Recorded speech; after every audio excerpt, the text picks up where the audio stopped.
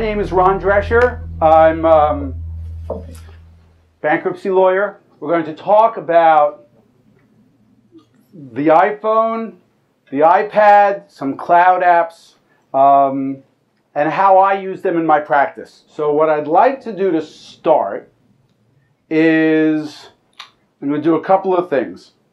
First of all, you know, you may notice I've got the iPad over here.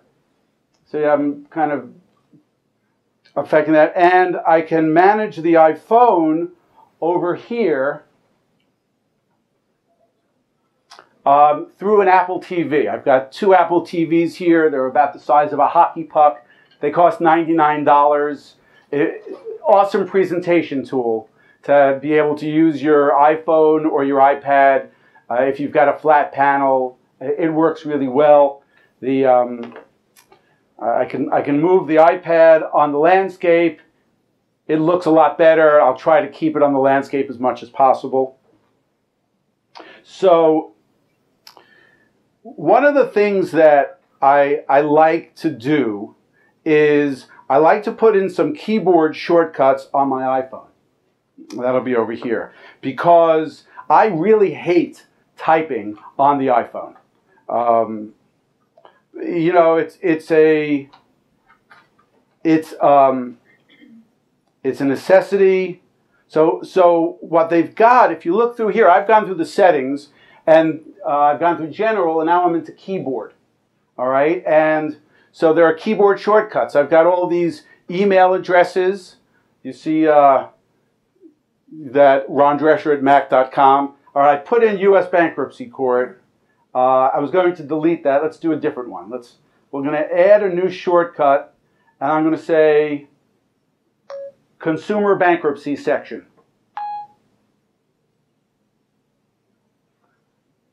All right, that worked. I'm always excited when that works. That's Siri. It's a feature from the iPhone 4S, and I use it constantly. We're going to call that CBS. All right, now I can capitalize consumer bankruptcy section if I want. In fact, let's do that. Make it a little nicer.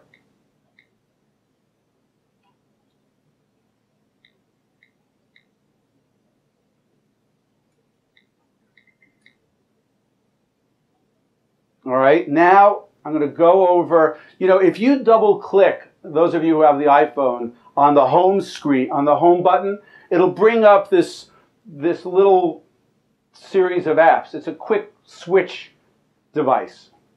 So I'm going to go back to, uh, to Notepad, and I'm going to do, let's see, consumer bankruptcy section. Hello. And you see it comes up like that. And I click the space bar, and it comes in. And I use this a million times a day. Who's got a business card?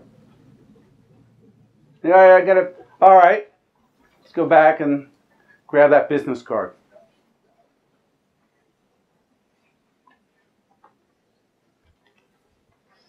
Thank you. I'm, I'm really excited about a new app that I've been playing around with called CardMunch.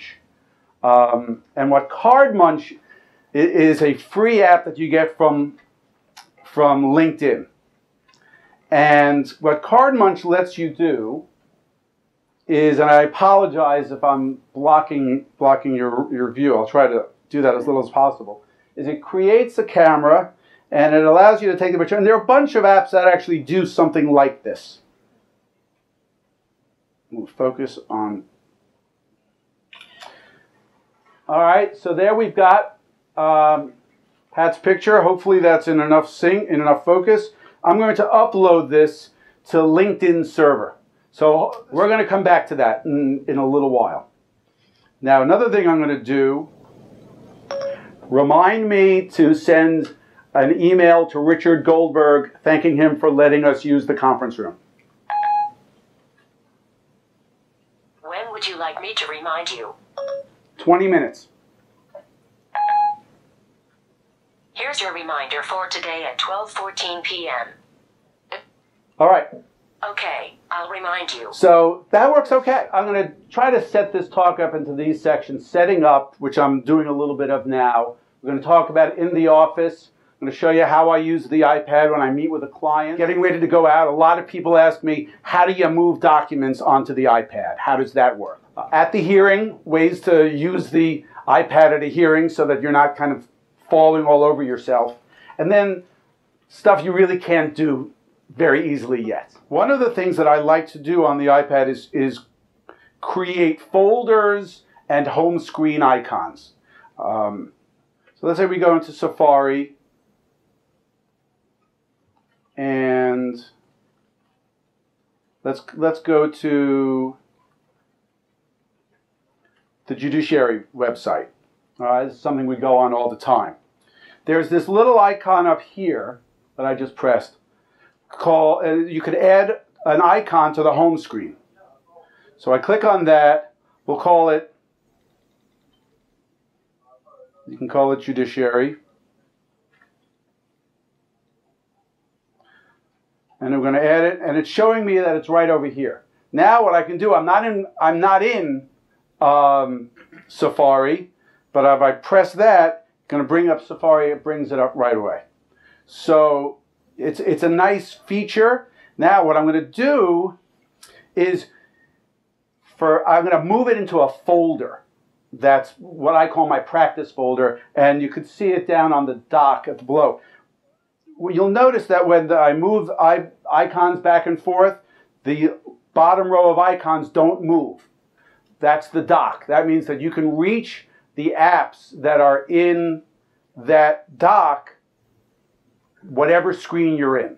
And so I park my most used apps there. Folders are really neat because it's, it saves you space on your home screen and it uh, enables you to group apps together that you're likely to think of similarly. So, for example, I've got, and to, to make a folder, all you do is you, you hold down on the app and they all start squiggling around. That, that's, a, that's a tech term. And you, and you move it over, and all of a sudden it's created an app. And it, it thinks I want to call it social. So I'll call it social. Why not? All right, now I want to move LinkedIn into that folder. And now I've got all three apps in a folder. Now that's pretty helpful. But what's especially helpful is to move folders into the dock. And I've got a folder that I call practice. Move it back where it, and that's how you move it. Just drag it right over into the dock. Um, now I'm going to click on this and you can see I already have judiciary in there. I'm going to get rid of it. I'm going to delete it now and show you what I'm doing. I'm going to now. To make it stop squiggling, just press the home button again. This is how you move icons and apps around on your home screen to make it you know, more usable. So now what I'm going to do is I'm going to move that judiciary um, icon. See, it still works. I'm going to move the judiciary icon into the practice folder in the dock uh, because I use that constantly when I'm with clients. And that's how you do these things, creating folders and moving apps around.